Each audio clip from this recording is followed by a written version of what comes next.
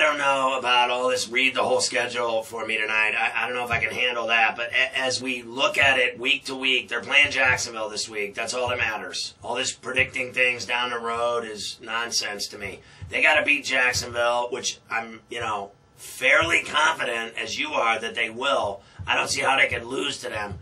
They're laying double digit. It's 13 and a half kind of lumber. Um, you know, Jacksonville's defense has not been that bad. Now, in their opener, they lost. Carolina beat them, but they gave up 20.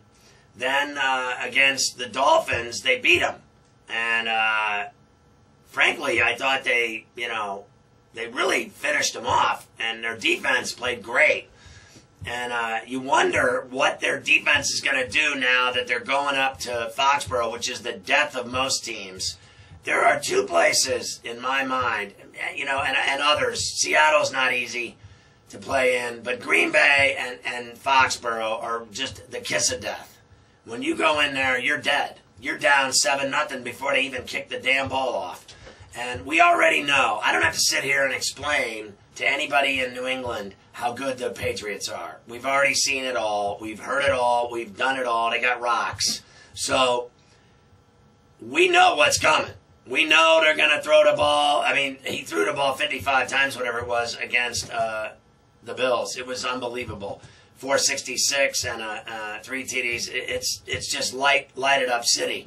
So we know that they're going to do these things, and we also know that Gronkowski's humiliating defenses and really flat out humiliating them.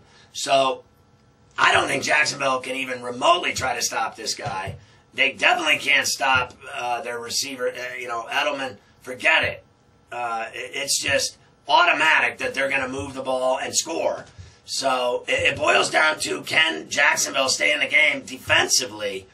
And we already know, and let me make this clear so we don't get confused. The Pats are going to win the division and they're going to go to the playoffs. That's just all there is to it. So all this talk about what they're going to do in week 7, 9, 12, 15, eh, who cares? They got Jacksonville this week. They should be able to get that done. You would think they wouldn't screw that up. And they know the importance of not uh, embarrassing themselves and screwing that up.